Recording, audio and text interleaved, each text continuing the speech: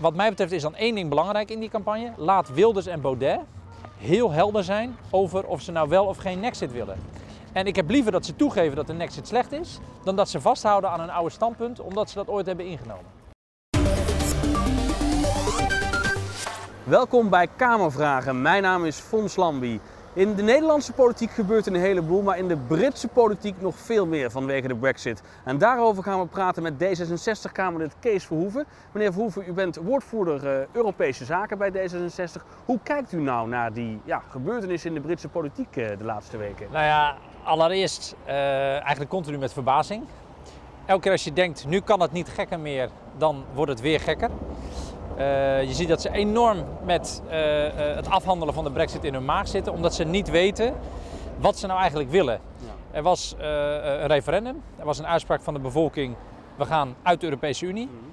Maar hoe, dat is nog steeds niet duidelijk. En ja, daardoor is een hele chaotische situatie ontstaan. Kijkt u niet ook een beetje met leedvermaak? Nee, daar begon nee. het wel een beetje mee. Dan zette je de televisie aan en dan, dan zag je weer uh, een paar parlementariërs die dingen zeiden uh, alsof het nog het Engeland uit de 18e eeuw was. En uh, de, splendid isolation en het sterke, het sterke, krachtige land van weleer. Dat je echt dacht van jongens, jullie zijn toch gewoon onderdeel van de Europese Unie, moeten toch samenwerken. Maar dat leedvermaak is bij mij weg, omdat je gewoon ziet dat de politiek geen besluiten kan nemen. En dat is gewoon heel slecht voor mensen en bedrijven. Dus ik ben nu vooral bezorgd. Nu is Nederland een van de trouwste bondgenoten van het Verenigd Koninkrijk geweest binnen de Europese Unie. Kunnen wij de Britten nog op de een of andere manier te hulp schieten?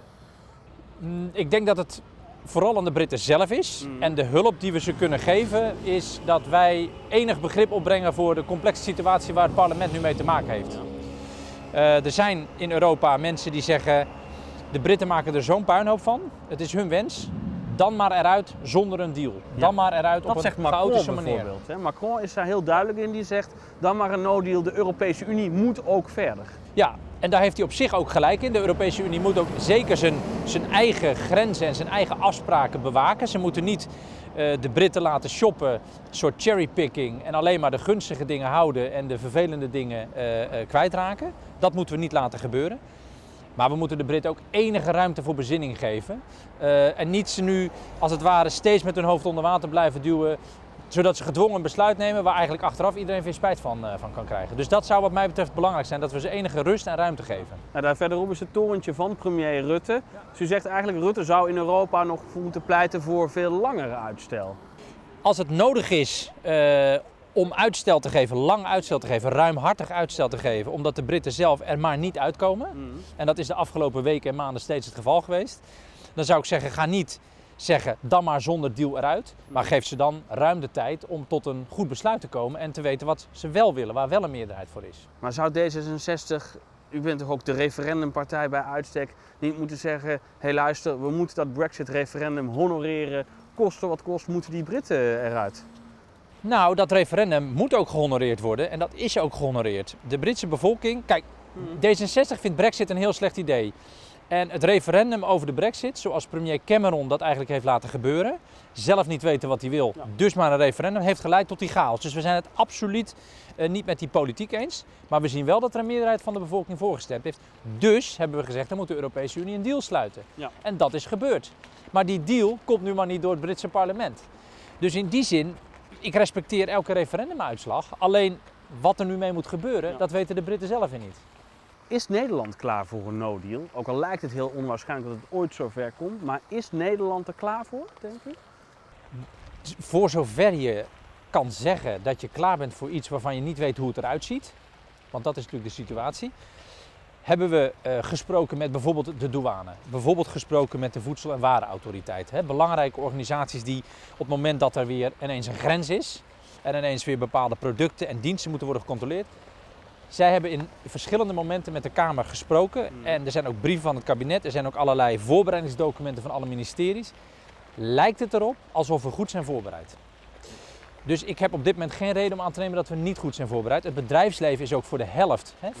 50% wel, 50% niet was laatst een, een onderzoek.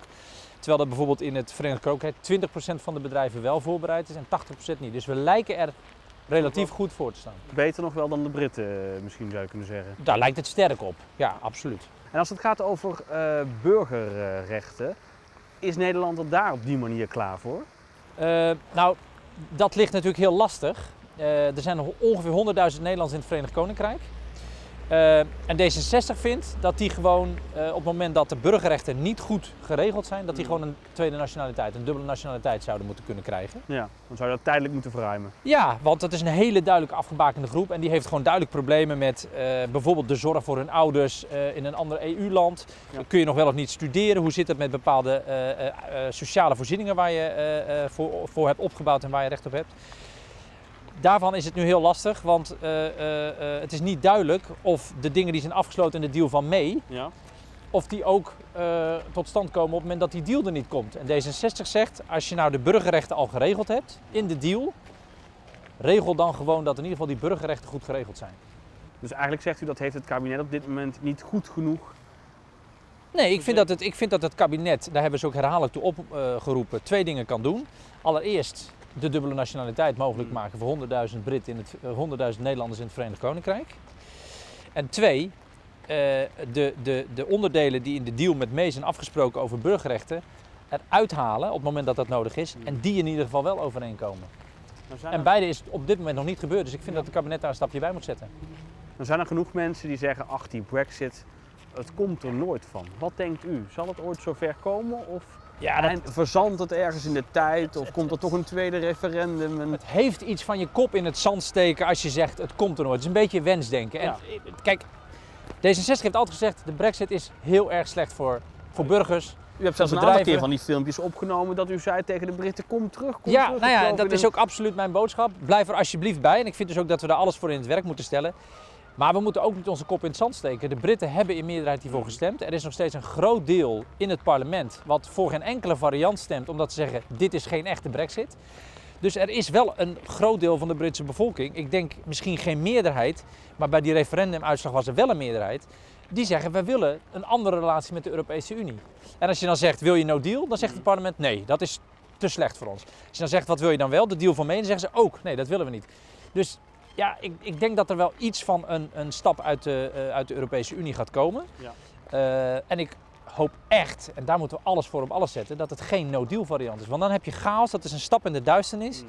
En dan heb je uh, bedrijven die echt totaal niet meer weten hoe ze hun handel moeten inrichten. En dan heb je mensen die niet meer zeker zijn van, van allerlei zaken heb je echt een groot probleem. Ja, het worden dus cruciale weken en misschien wel maanden als er nog uitstel komt. Ja, um, waar het sterk op lijkt. Ja, we gaan nu ook richting de Europese verkiezingen. Ja. Uh, 23 mei zijn ze in Nederland, uh, een paar dagen later in, uh, in, bijna alle andere Europese landen. Verwacht u dat er dan hier in Nederland ook weer een soort van Nexit-discussie op gang gaat komen? Nu ja, eigenlijk met al het gedoe in de, rond die Brexit zien? Nou ja, je zou verwachten dat alle politici hier in Nederland zo verstandig zijn om in te zien dat een Nexit slecht is voor iedereen. Ja. Uh, ik hoor overigens de heren Wilders en Baudet er ook steeds minder over. Over Nexit? Zeker. Ze, uh, Wilders was na de brexit helemaal overtuigd van het feit dat Nexit de goede weg was. Hij, hij schreeuwde dat van de daken. Nu zie je toch dat hij eigenlijk wel inziet dat het uh, alleen maar uh, slecht is voor, voor mensen en zeker ook voor zijn eigen achterban. Dus ik hoor hem er niet actief meer over. Als je het aan hem vraagt, dan zegt hij ja, dat willen we wel. En voor Baudet geldt eigenlijk hetzelfde. Dus het zal wel in de discussie komen. Mm. Maar je ziet dat zo'n groot deel van de Nederlandse bevolking, kijkend naar de Verenigde eh, Koninkrijk, kijken naar de Britten, ziet dat het alleen maar slecht is. Mm. Dat ik niet verwacht dat dit een serieuze wens is uh, van die partijen. Ja. Alleen ze hebben het ooit gezegd, dus zullen ze er een beetje aan moeten vasthouden. Maar dat is meer politiek. gaat het een rol spelen in die campagne, denkt u? Nee. Ik, denk, ik denk dat de discussie zo nu en dan wel opgebracht zal worden. Uh, maar wat mij betreft is dan één ding belangrijk in die campagne. Laat Wilders en Baudet heel helder zijn over of ze nou wel of geen Nexit willen. En ik heb liever dat ze toegeven dat de Nexit slecht is, dan dat ze vasthouden aan hun oude standpunt, omdat ze dat ooit hebben ingenomen. Stel, Stel nou, laatste vraag, over een paar jaar blijkt dat die Brexit wonderwel toch een succes is geweest. Ja. Denkt u dan toch niet, misschien moeten we dan toch maar een Nexit overwegen? Absoluut niet. D66 vindt al sinds uh, het begin uh, uh, van, van onze partij dat de Europese Unie een belangrijk onderdeel is van de samenwerking die nodig is om als land sterker in de wereld te staan. Dat vinden we nog steeds. En de Brexit zal ook geen succes worden, want geen samenwerking, je isoleren, ja, dat leidt niet tot succes. Je moet samenwerken en dat doen we binnen de Europese Unie. Oké, meneer Verhoeven, dank uh, voor dit uh, gesprek. Graag en uh, het worden innoverende weken, misschien wel maanden. Dank voor het kijken naar Kamervragen. En volgende week zijn we er weer terug met een nieuwe gast.